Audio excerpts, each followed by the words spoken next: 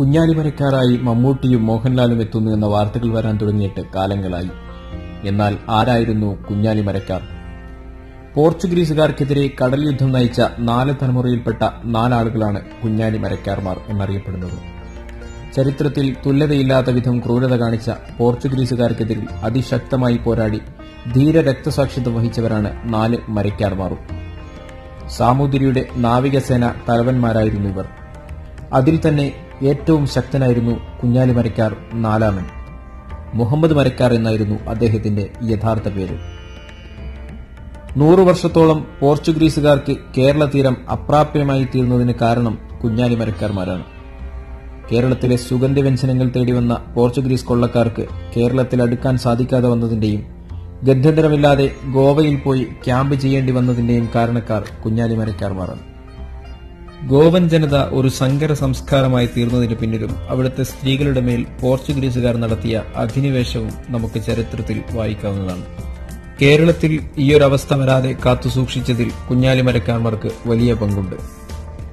കുഞ്ഞാലിമരക്കാർ ഒന്നാമൻ അതിബുദ്ധിമാനായ ഒരു പോരാളിയായിരുന്നു. ധീരനും തന്ത്രശാലിയുമായിരുന്ന കുഞ്ഞാലി നേരിട്ടുള്ള യുദ്ധത്തിൽ പോർച്ചുഗീസ് നാവികശക്തിയെ തോൽപ്പിക്കാനാവില്ലെന്ന് തിരിച്ചറിഞ്ഞു.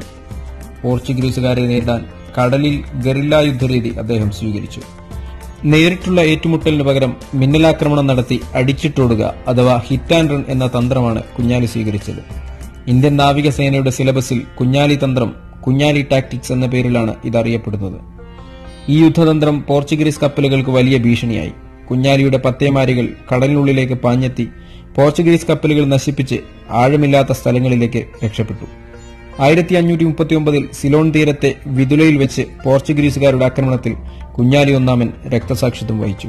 കുഞ്ഞാലി രണ്ടാമൻ പോർച്ചുഗീസ് അധിനിവേശ പ്രദേശങ്ങളെ ആക്രമിച്ചു. ആയിരത്തി അഞ്ഞൂറ്റി മുപ്പത്തൊന്നിൽ പോർച്ചുഗീസുകാർ ഗുജറാത്തിലേക്ക് പോവുകയായിരുന്ന സാമൂതിരിയുടെ കപ്പലുകൾ ആക്രമിച്ച് കുഞ്ഞാലിയുടെ സഹായികളെ തടവിലാക്കി. തുടർന്ന് നടന്ന ഒത്തുതീർപ്പ് വ്യവസ്ഥ പ്രകാരം സാമൂതിരി ചാലിയത്ത് ഒരു കോട്ട പണിയുവാൻ പോർച്ചുഗീസുകാർക്ക് അനുമതി നൽകി. കുഞ്ഞാലി ഇതിനെ എതിർത്തു. ചാലിയം കോട്ട മർമ്മപ്രധാനമായ ഒരു സ്ഥലത്തായിരുന്നു സ്ഥിതി ചെയ്തിരുന്നത്. കോട്ടയുടെ പണി പൂർത്തിയായതോടെ സാമൂതിരിയും പോർച്ചുഗീസുകാരും തമ്മിൽ വീണ്ടും പിണങ്ങി. സാമൂതിരി കൊച്ചിരാജ്യം ആക്രമിച്ചപ്പോൾ പകരം പോർച്ചുഗീസുകാർ പന്തലായനെ കൊല്ലം ആക്രമിച്ച് കൊള്ളയടിച്ചു. ആയിരത്തി അഞ്ഞൂറ്റി അൻപതിൽ സാമൂതിരിയും പോർച്ചുഗീസുകാരും തമ്മിൽ വീണ്ടും പോരാട്ടം തുടങ്ങി. തങ്ങളുടെ കീഴിൽ വന്ന സ്ഥലങ്ങളിലെല്ലാം പോർച്ചുഗീസുകാർ പറഞ്ഞറിയിക്കാനാവാത്ത ക്രൂരകൃത്യങ്ങളാണ് ചെയ്തു കൂട്ടിയത് വീടുകൾ തകർക്കുകയും സാധാരണക്കാരെ യാതൊരു മടിയുമില്ലാതെ കൊന്നൊടുക്കുകയും ചെയ്തു. ആയിരത്തി അഞ്ഞൂറ്റി എഴുപത്തിയൊന്നിൽ സാമൂതിരിയുടെ കാലാൾപ്പടയും കുഞ്ഞാലി നേതൃത്വം നൽകുന്ന നാവികപ്പടയും ചാലിയം കോട്ട ഉപരോധിച്ച് പൂർണമായും തകർത്തു. അതോടെ കേരളത്തിൽ പോർച്ചുഗീസ് മേധാവിത്വത്തിന്റെ തകർച്ച ആരംഭിച്ചു. ചാലിയം കോട്ട നശിപ്പിക്കുന്നതിൽ മുഖ്യ പങ്കുവഹിച്ച പടമരക്കാർക്ക് സാമൂതിരി കുഞ്ഞാലി മൂന്നാമൻ എന്ന പദവി നൽകി. സാമൂതിരിയുടെ അനുവാദത്തോടെ കുഞ്ഞാലി അകലാപ്പുഴയുടെ തീരത്ത് പുതുപ്പണത്ത് മരക്കാർ കോട്ട പണിതു. തുർക്കി ഈജിപ്ത് മുതലായ വിദൂര രാജ്യങ്ങളിൽ നിന്നുള്ള വിദഗ്ധന്മാർ കോട്ട നിർമ്മാണത്തിൽ സഹായിച്ചു. മുഗൾ കൊട്ടാരത്തിൽ നിന്നുപോലും ശില്പികൾ വന്നു. പറങ്കിപ്പടയ്ക്ക് കുഞ്ഞാലി മൂന്നാമൻ വലിയ ഭീഷണിയായി. അദ്ദേഹത്തിന്റെ കപ്പലുകൾ പേർഷ്യൻ ഉൾക്കടൽ മുതൽ ശ്രീലങ്ക വരെയുള്ള സമുദ്രത്തിൽ പൂർണമായും ആധിപത്യമുറപ്പിച്ചു യൂറോപ്യൻ രീതിയിൽ നാവിക സൈന്യത്തെ കുഞ്ഞാലി പരിഷ്കരിച്ചു. കേരള തീരത്തുള്ള പറങ്കി വ്യാപാരം പൂർണമായും നിലച്ചു. ആയിരത്തി അഞ്ഞൂറ്റി തൊണ്ണൂറ്റിനാലിൽ കുഞ്ഞാലി പന്തനാനിയിൽ വെച്ച് പോർച്ചുഗീസുകാരെ തോൽപ്പിച്ചു. ആയിരത്തി അഞ്ഞൂറ്റി തൊണ്ണൂറ്റഞ്ചിൽ മുഹമ്മദ് മരക്കാർ അഥവാ കുഞ്ഞാലി നാലാമൻ കോട്ടയ്ക്കൽ കോട്ടയുടെ അധിപനും സാമൂതിരിയുടെ നാവിക പടത്തലവനുമായി തന്റെ മുൻഗാമിയും രാജ്യത്തിന്റെ കാവൽ ഭടനുമായ കുഞ്ഞാലി മൂന്നാമന്റെ പാത അദ്ദേഹം പിന്തുടർന്നു. സാമൂതിരി പോർച്ചുഗീസ് ശക്തിയുമായി സൌഹൃദം ഉറപ്പിക്കുന്നതിനോട് കുഞ്ഞാലി വിയോജിച്ചു. പോർച്ചുഗീസ് അധികാരികൾ സാമൂതിരിയെയും കുഞ്ഞാലിയെയും തമ്മിലകറ്റാൻ പല തന്ത്രങ്ങളും പ്രയോഗിച്ചു. സാമൂതിരിയുമായി എന്ത് വിട്ടുവീഴ്ച ചെയ്തും സൌഹൃദമുറപ്പിച്ച് കുഞ്ഞാലിയെ ഒറ്റപ്പെടുത്തിയാൽ നാട് കൊള്ളയടിക്കാൻ എളുപ്പമാണെന്ന് പോർച്ചുഗീസുകാർ തിരിച്ചറിഞ്ഞു. ചാരന്മാരെ ഉപയോഗപ്പെടുത്തിയും കുഞ്ഞാലിയെ തോൽപ്പിക്കാൻ അവർ ശ്രമിച്ചു. കുഞ്ഞാലി നാലാമന്റെ ധീരസാഹസിക കൃത്യങ്ങൾ തെറ്റായി വ്യാഖ്യാനിച്ച് പോർച്ചുഗീസുകാർക്ക് അനുകൂലമായ നിലപാടെടുക്കാൻ രാജസേവകരും സാമൂതിരിയെ നിർബന്ധിച്ചു. പോർച്ചുഗീസുകാരുടെ കുതന്ത്രങ്ങൾ തിരിച്ചറിഞ്ഞ കുഞ്ഞാലിമരക്കാർ അവരുടെ ചതിയിൽ കുടുങ്ങിപ്പോകരുതെന്ന് സാമൂതിരിയോട് അപേക്ഷിച്ചിരുന്നു. കോഴിക്കോട്ടെ നായർ പ്രമാണിമാരും കുഞ്ഞാലിക്കെതിരെ നീങ്ങരുതെന്ന് സാമൂതിരിയെ ഓർമ്മപ്പെടുത്തി.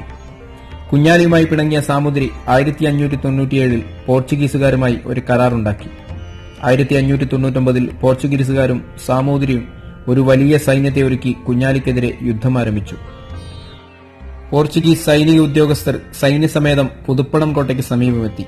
അവരെ സഹായിക്കാൻ സാമൂതിരിയുടെ സൈന്യവുമുണ്ടായിരുന്നു. കുഞ്ഞാലിമരക്കാർ ആക്രമണത്തെ ധീരമായി നേരിട്ടു. ആയിരത്തി അറുന്നൂറ് മാർച്ച് ഏഴിന് പോർച്ചുഗീസ് സാമൂതിരി സംയുക്ത സൈന്യം മരക്കാർ കോട്ട വളഞ്ഞു. തന്റെ രാജാവായ സാമൂതിരിക്ക് ഉടവാൾ അടിയറ വെക്കാമെന്നും തന്റെ ജനങ്ങളുടെ ജീവൻ രക്ഷപ്പെടുത്തിയാൽ മതിയെന്നുമുള്ള കുഞ്ഞാലിയുടെ അപേക്ഷ അംഗീകരിക്കാനും രേഖാമൂലം ഇക്കാലം സമ്മതിക്കാനും സാമൂതിരി തയ്യാറായി. മാർച്ച് പതിനാറിന് കോട്ടയ്ക്ക് പുറത്തു വന്ന് സാമൂതിരിക്ക് കീഴടങ്ങാൻ കുഞ്ഞാലി തയ്യാറായി. സാമൂതിരിയുടെ മുമ്പിൽ വാൾ സമർപ്പിച്ച് വിനയപൂർവം കുഞ്ഞാലി കൈകൂപ്പി. ഉടനെ തന്ത്രശാലയായ പോർച്ചുഗീസ് തലവൻ ഫുർട്ടാഡോ ഓടിയെത്തി കുഞ്ഞാലിയെ തട്ടിക്കൊണ്ടുപോകാൻ ഒരുങ്ങി.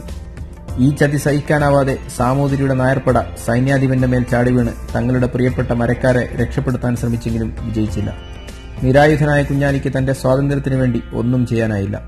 ഫുർട്ടാഡോ കോട്ടയ്ക്കൽ കോട്ട ഇടിച്ചു നിരത്തി. ആയിരത്തി അറുന്നൂറ് മാർച്ച് ഇരുപത്തിയഞ്ചിന് ചങ്ങലക്കിട്ട കുഞ്ഞാലിയെയും അനുയായികളെയും കൂട്ടി മരക്കാർ കോട്ട കൊള്ളയടിച്ചു കൂട്ടിയ ധനവുമായി ഫുർട്ടാഡോ ഗോവയിലേക്ക് പുറപ്പെട്ടു.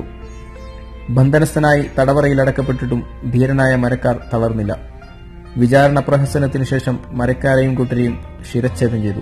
എന്നിട്ട് ആ ശിരസ് കോലിൽ കുത്തി മലബാറിന്റെ തീരങ്ങളിലൂടെ അവർ വിജയാരവമുറുക്കി നടന്നു.